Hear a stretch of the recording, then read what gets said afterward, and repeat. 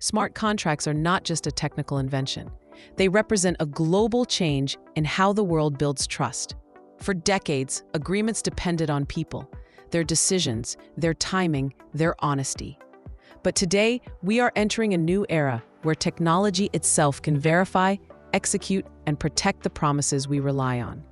In this video, we'll explore the real story of smart contracts, where they came from, how they work, and why they are becoming a key foundation of the next financial era, both globally and here in Europe.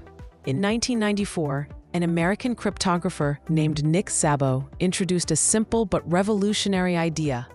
What if agreements could execute themselves without depending on human decisions? To help people understand this concept, Szabo used a very familiar example the vending machine, a system where the rule is clear insert money, get the product. No money, no product. No delays. No misunderstandings. No human mistakes. This was the first real model of what we now call a smart contract. A vending machine works exactly like a basic smart contract. You put money in, the machine checks the amount, and if everything is correct, it automatically gives you the product. If the condition is not met, nothing happens, and the machine will never change its mind. There is no negotiation, no waiting for approval, no human error. It simply follows one rule. If the requirement is fulfilled, the action is executed.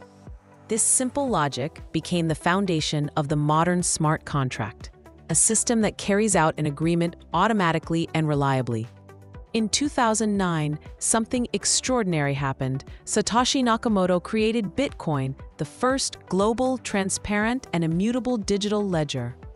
For the first time, the world had a system where information could be recorded in a way that could not be erased, manipulated, or altered by anyone.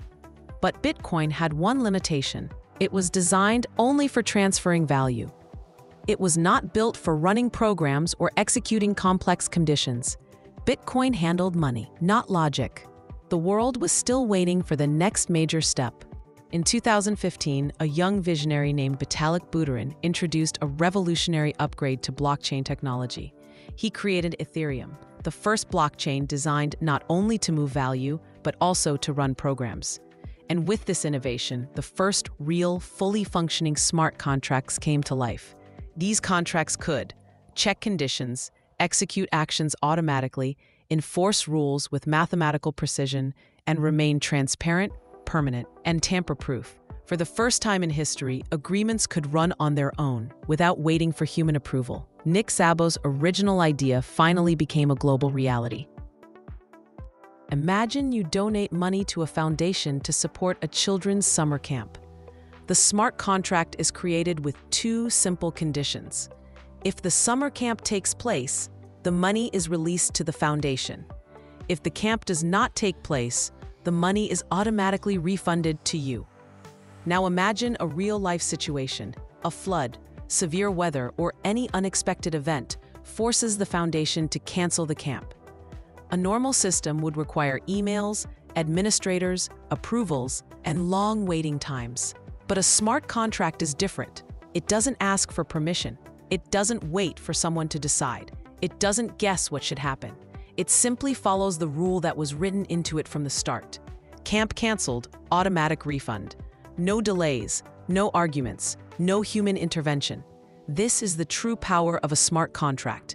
The decision is made by code, not by people. As smart contracts became popular, many people misunderstood or misused the technology. Projects appeared with unrealistic promises, huge daily returns, unclear structures, and teams that disappeared overnight. This period became known as the Crypto Wild West.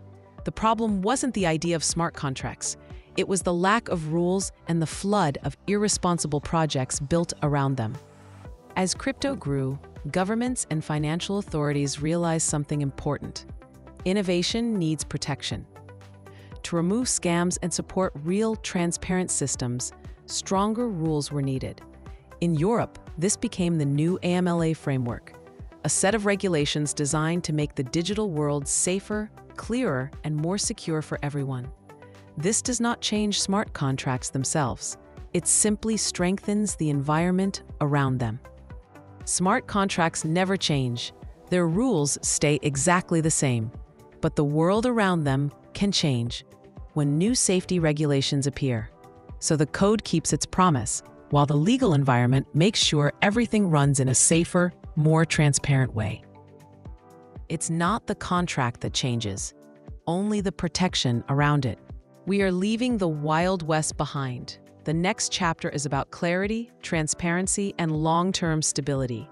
Only systems built on real logic and honest structure will grow in this new environment. This is not a slowdown, this is maturity.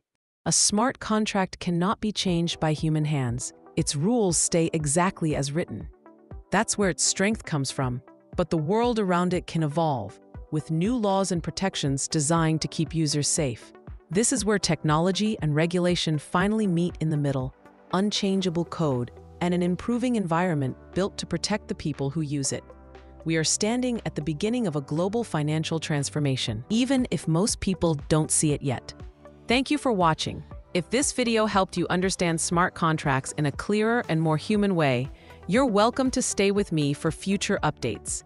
New insights and explanations are coming, and I'd be glad to have you with me as we explore this new financial era together. If you'd like to learn more in simple, clear language, feel free to follow the channel.